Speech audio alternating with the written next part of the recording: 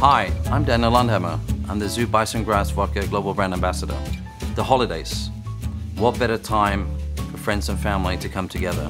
And today, I'm going to show you how to make two beautiful punch recipes I've created to share at the holidays.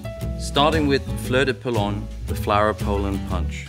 A delicious, fresh, fruity punch.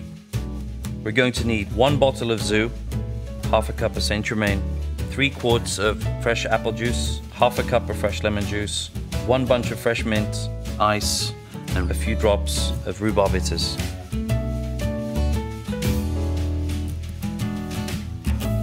Combine all ingredients into a punch bowl, starting with the ZU,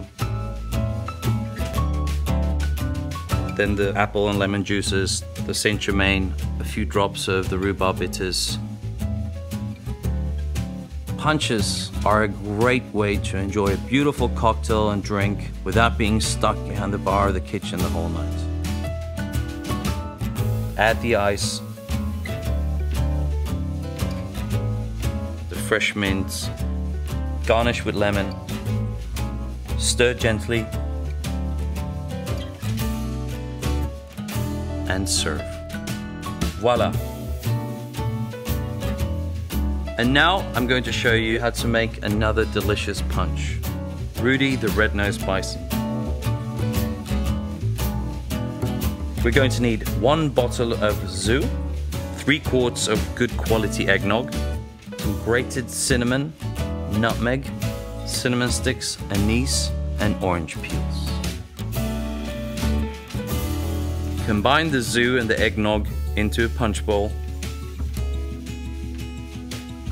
Add ice. Add the cinnamon, nutmeg, anise, and orange peels. Punches are great for entertaining.